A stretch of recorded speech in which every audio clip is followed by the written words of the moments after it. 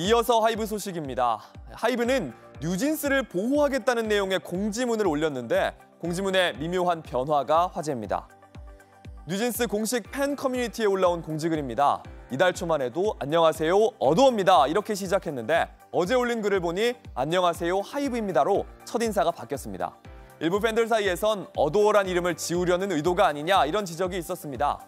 하이브는 뉴진스의 컴백 활동이 지장받지 않도록 최선을 다해 지원하려고 합니다. 이렇게 이 글에서 밝혔는데요. 뉴진스는 오늘 싱글 음반의 예약 판매를 시작합니다.